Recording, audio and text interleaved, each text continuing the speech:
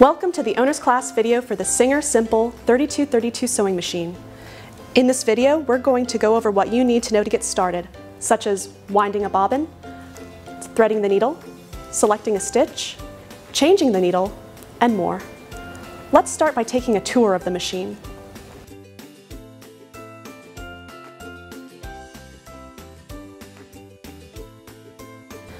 The first thing we're going to do is plug in the machine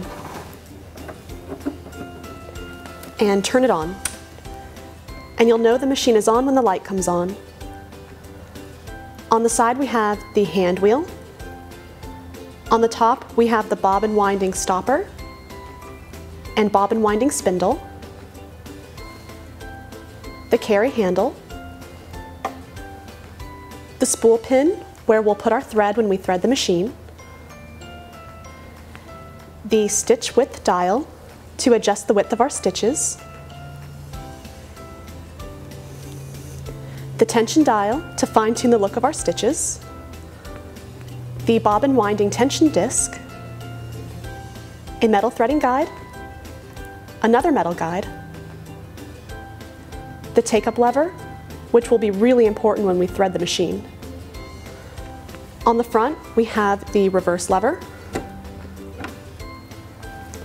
the stitch length dial, and the stitch selector dial. Down by our needle, we have the built-in needle threader, the needle, the all-purpose foot, and behind the all-purpose foot, we have the presser foot lifter, which raises and lowers our presser foot. When we remove the accessory tray, we expose the free arm of the machine, and when we open the door, we have accessories inside. In this pouch, we have some essentials like needles, extra bobbins, a spool cap, and some additional presser feet, as well as a buttonhole foot. Let's take a look at some of those extra presser feet that come with our machine. In addition to the all-purpose foot that's already on your machine, you get the buttonhole foot, for making buttonholes, the button sewing foot for sewing on buttons, and the zipper foot, used for inserting zippers into your projects, but it can also be used for piping. Now let's wind a bobbin.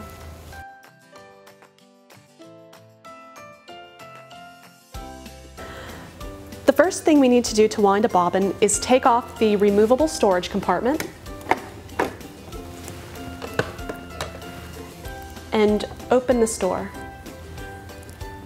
Here we'll find our bobbin case. Pull this little latch and remove the case. And retrieve your bobbin. This machine uses class 15 transparent bobbins. If you want to purchase more bobbins for your machine, make sure you purchase Singer Class 15 transparent bobbins. To wind our bobbin, place a spool of thread onto the spool pin and cap it off with a spool cap.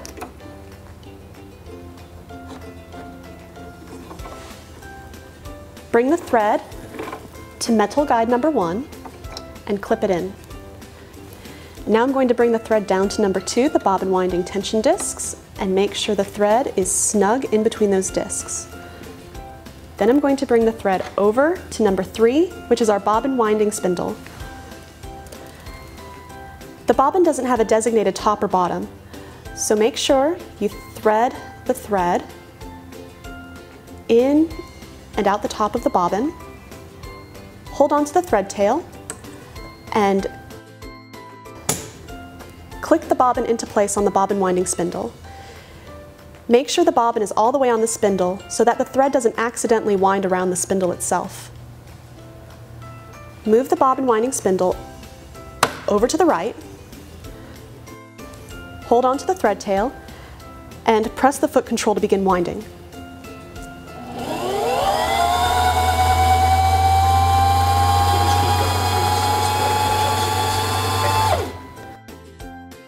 When the thread tail is buried, clip the tail flush with the top of the bobbin and continue winding until the bobbin is full or until you have enough thread for your project.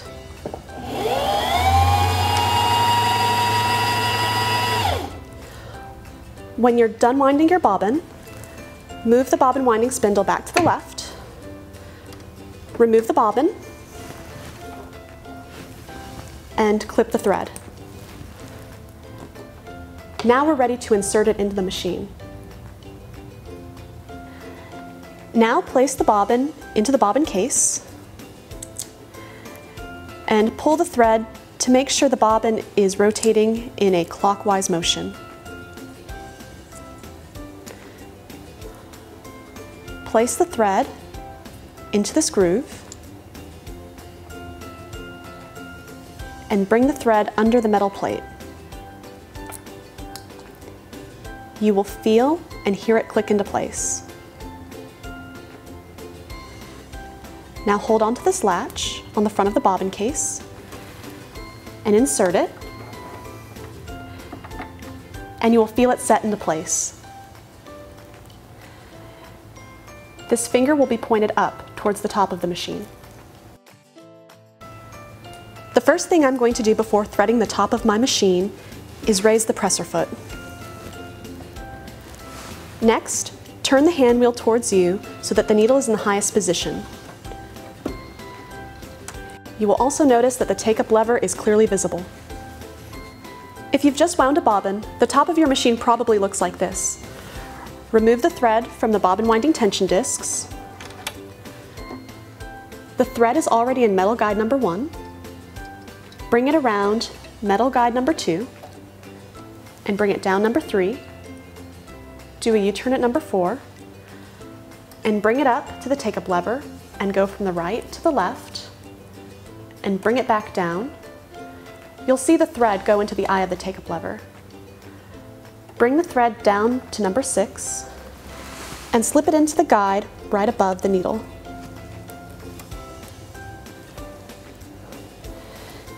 This machine has a built-in needle threader. So bring the thread over to the metal hook and push down on the built-in needle threader so that it encompasses the needle. Bring the thread in between the two prongs and hold on to the thread to give it a bit of tension and release the built-in needle threader. In the back, there will be a little loop. Pull onto that loop and your needle is threaded. So there's one last thing we need to do before we sew on the machine. To draw up the bobbin thread, hold on to the upper thread and turn the handle towards you and make sure you lightly pull up on the upper thread tail. This way you'll be able to pull up a loop of the bobbin thread and place the threads under the presser foot towards the back of the machine. Close the door and put your removable storage compartment back on. Now we're ready to test sew a stitch.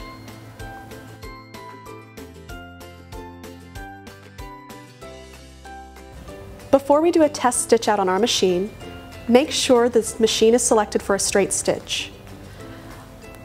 If it's not, turn your stitch selector dial so that the straight stitch icon is in line with the gray dot above.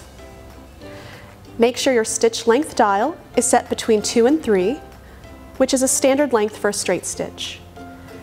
And make sure your stitch width dial is set to 0. Now place your test piece of fabric under the presser foot, lower the presser foot, and press your foot control to begin sewing.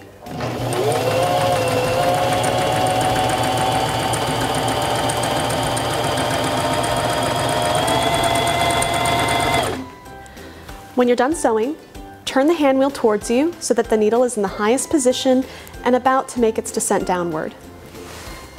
Raise the presser foot and remove your work. Trim the thread. And here's our stitch. It looks good on the top and it looks good on the back. So it means our machine is threaded properly. If the stitches look good on top, but have loops on the bottom or these little wavy zigzags, it means the upper thread isn't threaded properly. Rethread your machine and do another test sew. Now we're ready to sew a seam. The machine is already set for a straight stitch. I notice on the needle plate there are some lines. While the needle is in center position, the line closest to the presser foot is 3 eighths of an inch. The second line to the right is 1 half inch. And the third line over is 5 eighths of an inch.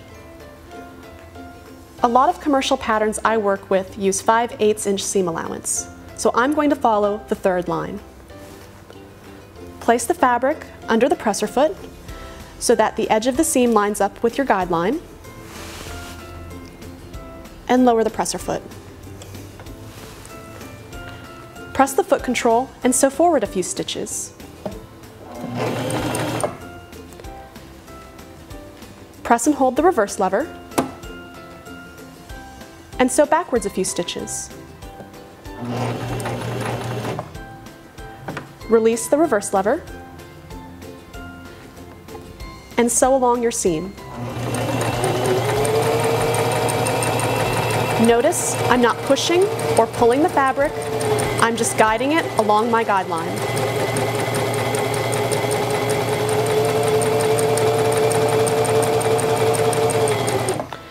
Stop at the end of the fabric, press and hold the reverse lever, and sew backwards a few stitches.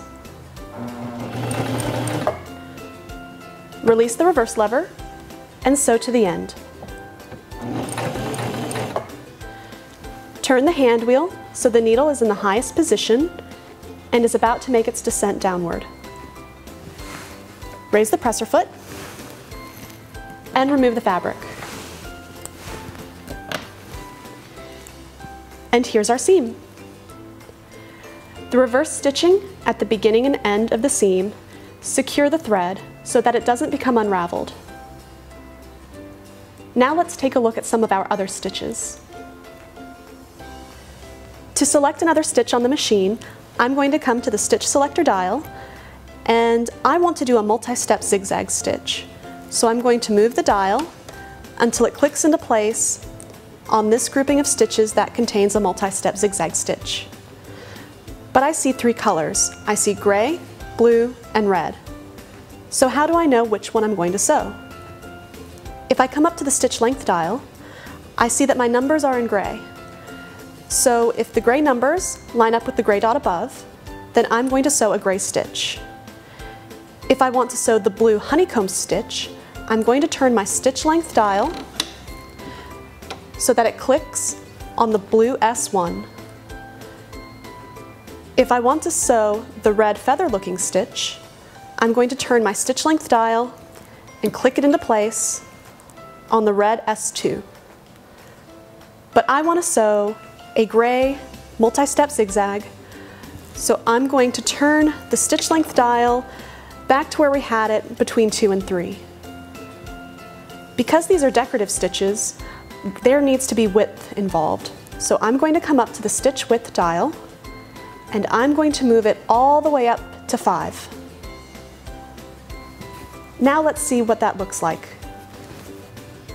Place the fabric under the presser foot Lower the presser foot and begin sewing.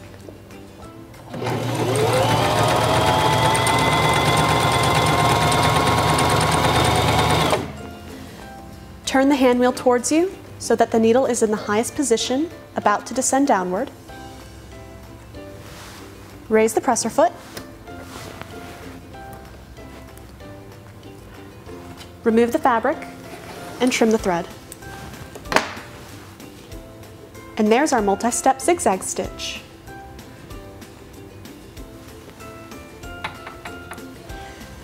Now I want to sew this blue honeycomb stitch. The stitch grouping is already selected on my stitch selector dial. I'm going to come up to the stitch length dial and move it so that the blue S1 is selected. The stitch width dial is already set to number 5. To sew the honeycomb stitch, place the fabric under the presser foot, lower the presser foot, and begin sewing.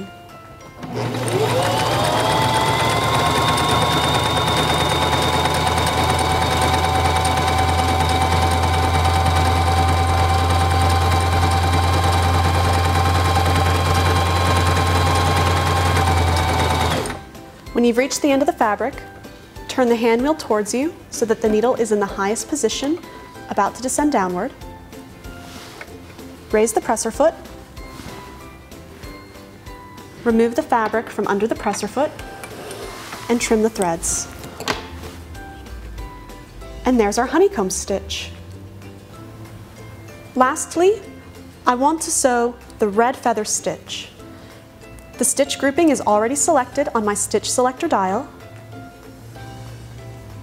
And I'm going to come up to the stitch length dial and turn it so that the red S2 is selected. And the stitch width dial is already set to number 5. Now to sew the feather stitch, place the fabric under the presser foot, lower the presser foot, and begin sewing.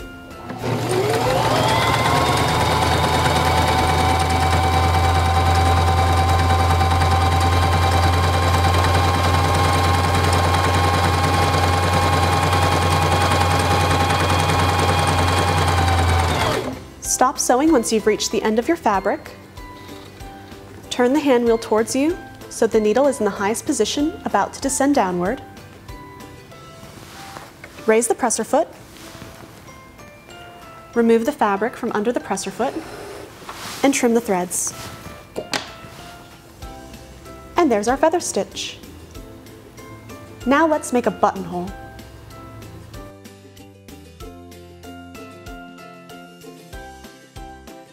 The first thing you need to do when making a buttonhole is stabilize the fabric. Then, move your button to where you want the buttonhole sewn on your project.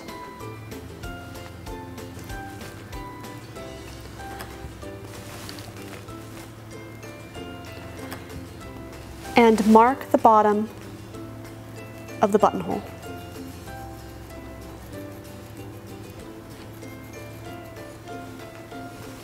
Then create a perpendicular straight line to act as a guideline for our buttonhole. Now go to the stitch selector dial and select the buttonhole stitch. Then go up to your stitch length dial and select this gray area that looks like a buttonhole. Go up to your stitch width dial and move it to 5. Now we need to put the buttonhole foot on our machine.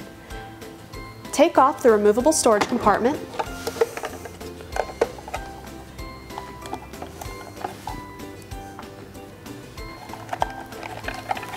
and retrieve the buttonhole foot. Raise the top of the buttonhole foot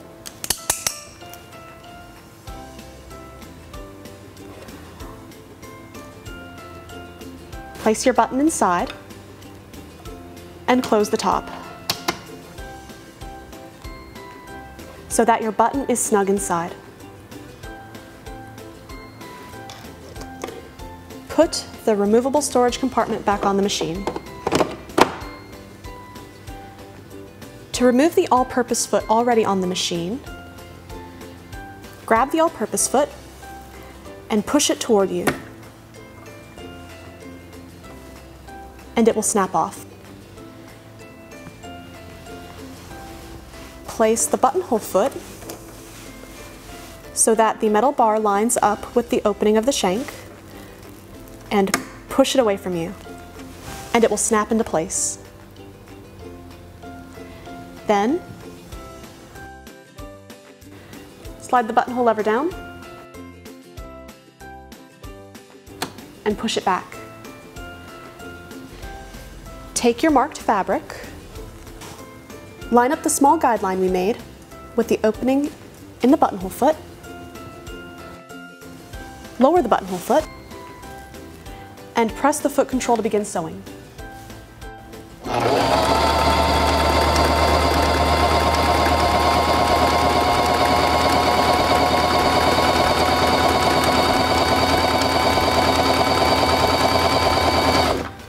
Once the buttonhole is complete, turn the hand wheel so that the needle is in the highest position, about to descend downward. Raise the presser foot and remove your fabric.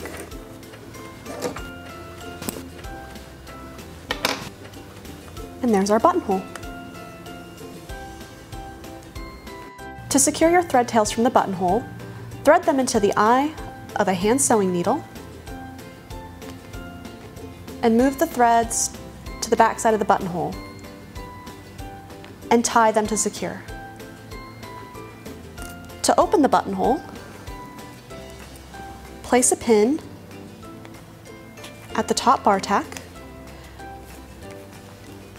This will keep us from accidentally cutting through our bar tack. Take the seam ripper buttonhole opener that's located in your removable storage compartment, insert it at the bottom of the buttonhole, and move your way up carefully.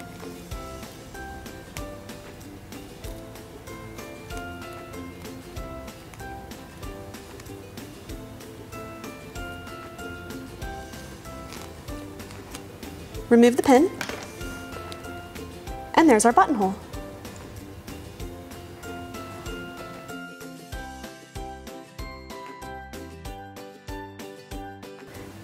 To change the needle, retrieve this L-shaped screwdriver from your removable storage compartment. I'm going to place a piece of paper over the feed teeth, just so I don't accidentally drop the needle into my machine. Hold the needle and turn the needle clamp screw towards you to loosen it. Pull down on the needle and it's been removed. Take a new needle with the flat side to the back and insert it into the needle clamp. Turn the needle clamp screw away from you to tighten it and remove the paper.